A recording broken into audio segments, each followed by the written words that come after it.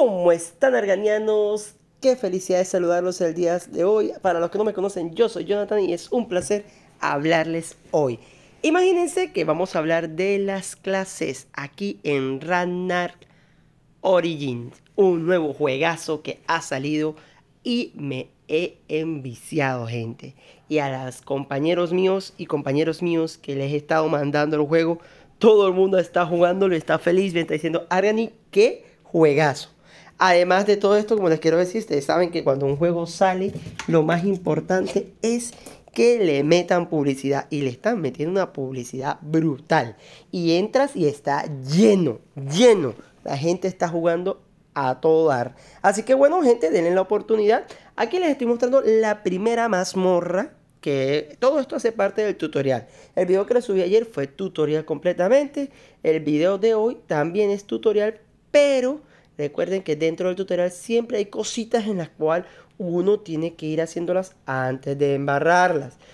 Como saben, yo siempre les voy a subir el video de 10 cositas o 5 cosas que no tienen que hacer o para que empieces bien. En estos momentos yo lo que estoy haciendo es enseñándoles cómo empezar bien y primeramente lo primero es las clases. Bueno, aquí les muestro la forma de pelear. Más que todo, miren, es un RPG completamente. Vas a tener 2, 4, 5 habilidades y el poder básico como tal. Dentro de todo esto sabes que vas a poder echarte pociones, vas a poder comer cosas especiales. Más que todo es que sepas que los monstruos están peleando en real ahí. Y eso es algo que me encanta. Cuando uno está jugando un juego como estos, el objetivo es que tienes que esquivar habilidades, tienes que utilizar tus habilidades, tienes que confiar en tus compañeros. Y es ahí donde quiero que entiendan que este juego es para jugarlo en compañeros. Así que van a salir monstruos que vamos a tener que estar en compañeros, que vamos a tener que estar en gremios, vamos a tener que estar en grupos, a tener que estar hablando, no sé, por Discord, por WhatsApp, en fin, en fin, en llamada y, y buscar cómo, cómo guiarnos, cómo hacer. Y eso es lo que quiero que explicarles en este video. Bueno, más que todo, las clases, gente. Vamos a tener varios tipos de clases y estas clases cada uno tiene su habilidad especial. Como saben, siempre en estos juegos de MMO, o sea, estos juegos de rol, necesitamos sí o sí que cada uno cumpla su, enfoque. Ya vamos a tener espadachines, em, curadores, magos, arqueros, como en todos estos juegos de rol. Ahora, el tema es que escojas la clase con la que tú te sientas identificado o identificada, pero que sea también que tú digas, no, es que no voy a estar yo solo contra el mundo, yo sola contra el mundo. No, vamos a aliarnos. Quiero decirles que estoy, estoy en el servidor Morror 1. Si quieres jugar, no has empezado a jugar, no tienes amigos, recuerda, estamos en el servidor Morror 1. Yo les voy a estar dejando mi, mi pi, mi código, algo, en fin, lo que vamos a necesitar. Bueno, Aquí vamos a empezar con las clases. Esto se lo tengo que eh, eh, agradecer a Kisame porque resulta que yo escogí la clase y no grabé.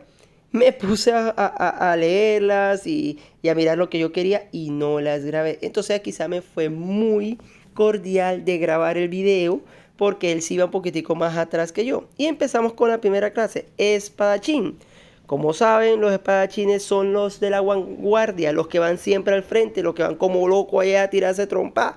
Entonces, estos van a utilizar espadas, obviamente.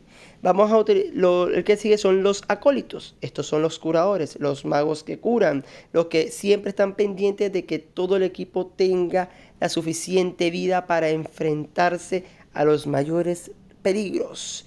Seguimos eh, más que todo con esta clase. Eh, voy a hablar encima del video de Akisame. Conforme a lo que lo esté mostrando, yo lo voy a estar mostrando. Recuerden que estoy encima del video de él. Entonces, seguimos con los magos. Los magos, como tal, ya saben, van a proteger al equipo, pero también van a utilizar en tormentas, van a utilizar diferentes elementos los cuales van a estar atacando. Bueno, aquí el señor Akisame se regresó para mostrarnos las habilidades. Ya saben, miren, si ustedes quieren ver cuál es la habilidad, lo importante es regresarte. Ahí tú le das clic, va a ser como especie de un mini video y en ese video vas a ver cómo va a atacar. En eso es algo brutal porque ahí si de pronto tienes dudas, por ejemplo, ahí quizá me se demoró como 20 minutos para escoger la clase y decía, no, es que no sé qué escoger, me gusta el mago, me gusta el arquero, me gusta el ladrón, mejor dicho, él no sabía qué escoger, pero esto le fue ayudando, entonces él fue mirando las habilidades, fue observando lo que hacía y ahí se decidió a escoger la clase.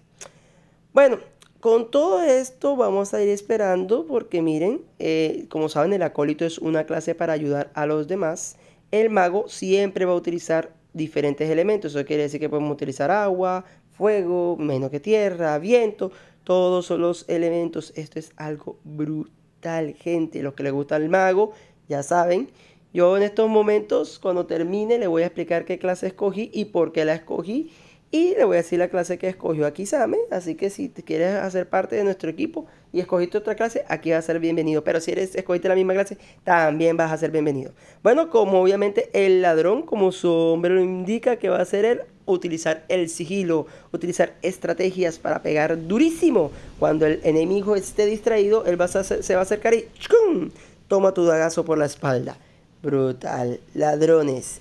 Ey, escojan bien una clase, una clase que se sientan cómodos, que se sientan felices, que no sea ahí porque, porque no, porque es que hace falta, no, escojan algo que se sientan cómodos. Bueno, esta es la clase comerciante, eh, dice que compras objetos a bajo costos y lo vendes muy caro, bueno, más que todo este va a ser el que va a encontrar más objetos. Y por último, el arquero.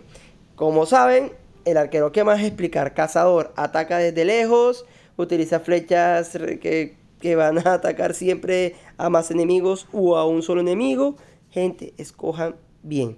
Cualquier duda, cualquier pregunta, ya saben que me la pueden dejar aquí en los comentarios. Yo soy Arganit y es un placer hacerles este video. Bueno, Trotamundos, yo escogí la clase Espadachín. ¿Por qué? Porque es que esta vez, por primera vez, yo quise ser algo diferente quiero atacar a los enemigos, quiero meterme de cabeza. Entonces yo escogí la clase espadachín. Miren, es una clase cuerpo a cuerpo, obviamente. Tenemos los ataques de clase que son el golpe, que más adelante se los voy a estar mostrando. Bueno, más creo que aquí les puedo mostrar, por ejemplo, aquí les puedo mostrar este, miren, y les puedo mostrar el golpe, no, tiene que ser un eh, en PvP.